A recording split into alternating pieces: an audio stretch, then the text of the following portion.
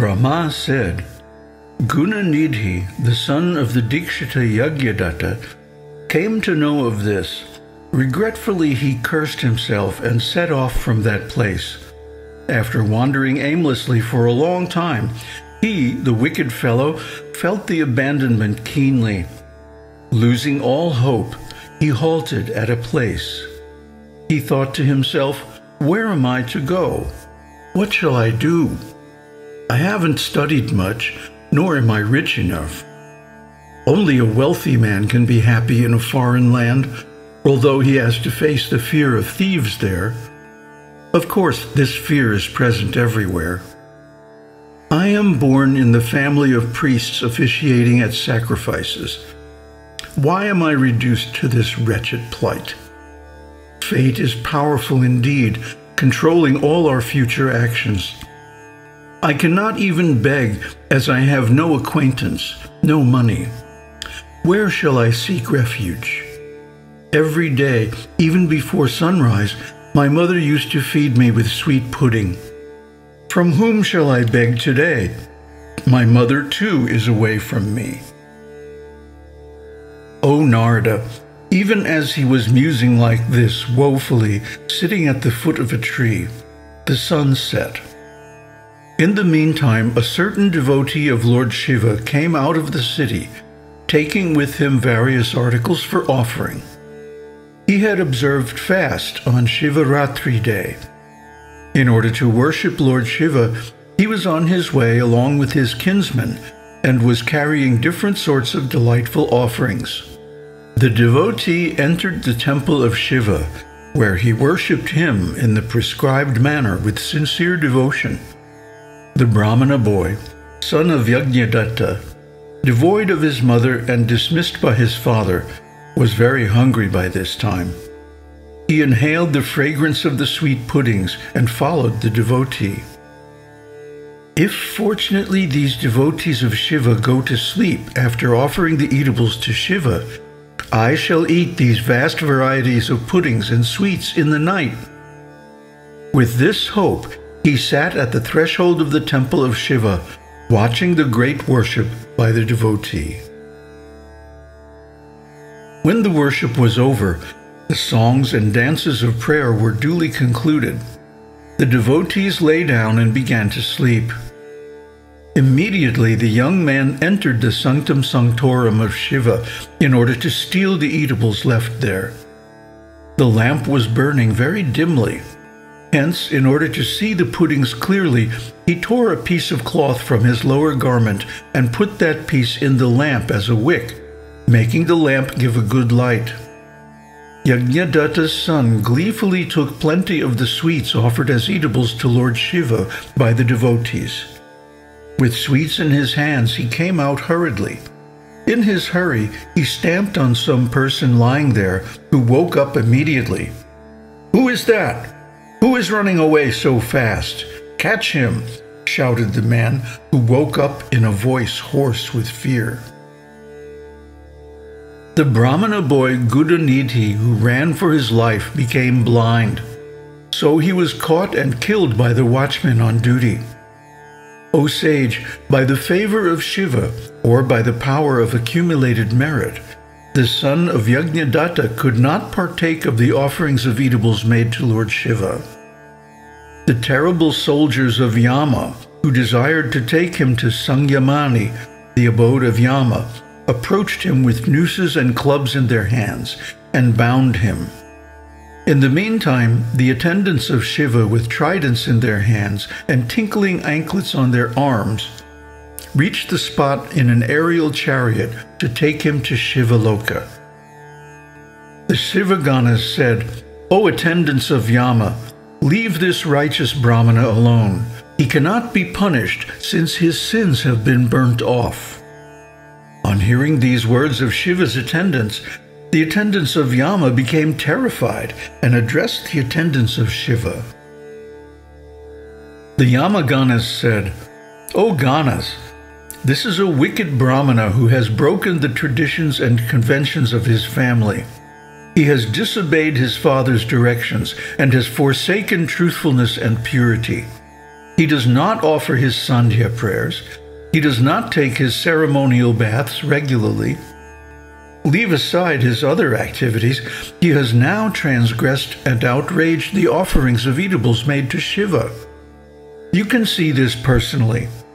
In fact, he is not worthy of even being touched by people like you. The mere touch of persons who consume or outrage the offerings of eatables made to Shiva, and those who offer these to others, it is said, is sinful. Even poison is not so dangerous when drunk. Never shall a person make use of Shiva's property, even if he were to die. It is granted that you are an authority on virtue. We are not. But, O Ganas, if this fellow has at least a bit of virtue to his credit, please let us hear the same. On hearing these words of Yama's attendants, the attendants of Shiva remembered the lotus-like feet of Shiva and spoke to them thus. O attendants of Yama, Shiva's ideas of Dharma are very subtle. They can be observed only by persons of subtle and keen vision not by people like you who are aware of only the gross exterior. O Ganas, hear attentively what this son of Yajnadatta has done, which has freed him from sins. The shadow of the lamp was falling on the top of the linga, and this Brahmana prevented it by adding a wick to the lamp at night, cutting a piece from his lower cloth. Another great merit he derived from listening to the names of Shiva though casually, O attendants. He witnessed the worship that was being performed duly by a devotee. He was observing a fast, and his mind was concentrated too. Let him go to Shivaloka along with us. As Shiva's follower, let him enjoy great pleasures there for some time. Then he will shake off his sins and become the king of Kalinga since he has indeed become a great favorite of Shiva. Nothing else need be mentioned now. Let all of you, emissaries of Yama, return to your own world with contented minds. Brahma said, O lordly sage, on hearing these words of Shiva's attendants, the emissaries of Yama returned to Yama's abode. O sage, they narrated to Yama whatever the messengers of Shiva told them about Dharma, etc. Dharma Raj said, O Ganas, listen attentively to what I say. Whatever I direct you to do, you shall do with loving devotion. O Ganas, you shall avoid those persons who bear on their forehead the mark of Tripundra besmeared with white ashes Never shall they be brought here. O Ganas, you shall avoid those persons who regularly dust their body with white ashes. Never shall they be brought here.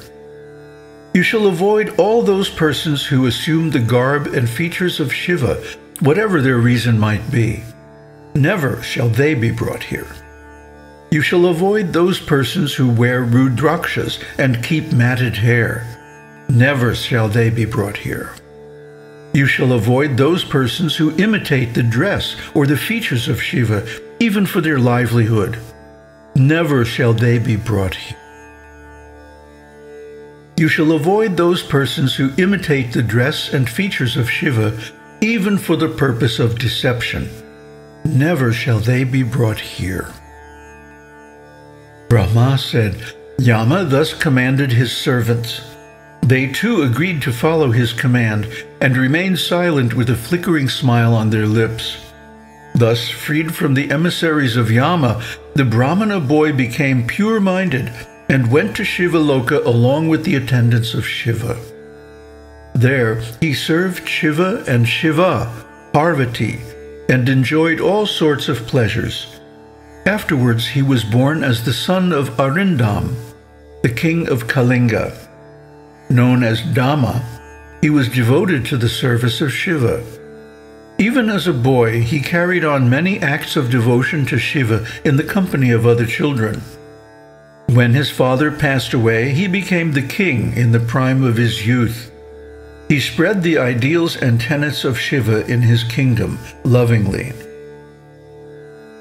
The king Dama was unconquerable. O Brahmana, he did not stress any act of piety other than furnishing temples of Shiva with lamps in plenty. He called headmen of the villages in his kingdom and asked them to furnish all temples of Shiva with lamps. He warned them that if they defaulted, they would be punished. It is declared in the Vedas that Shiva is delighted at the gift of a lamp to his temples. He said, Therefore, you headmen shall see that the temples of Shiva in your jurisdiction are properly illuminated with lamps. There is no question of hesitation in this matter. Undoubtedly, I shall get the defaulter beheaded. Thus, for fear of him, every temple was duly illuminated. With this act of piety alone, as long as he lived, the king Dama acquired ample prosperity. Finally, he passed away. The impression of lamps persisted in his mind. He caused many lamps to be lighted. Finally, he became the lord of Alaka with gem-set lamps to his credit. Thus, even the smallest service rendered to Shiva bears rich fruit in time. Let all persons seeking happiness realize this and continue the worship of Shiva. As son of the Dikshita, he never cared for any act of piety. He had entered the temple of Shiva to steal. He had brightened the lamp there to serve his own end, thereby dispelling the shadow of darkness on top of the linga. Then he became the virtuous king of Kalinga. O foremost of the sages, where the wicked son of the Dikshita, and where the guardian of a quarter? Although he had been simply a man, he became the guardian of a quarter. Thus I have narrated the story of Gunanidhi, the son of Yagyadatta. This story is pleasing to Shiva. Besides, it grants all desires to the listening devotees. O dear one, next I shall tell you how he became the close friend of Shiva. Please listen attentively.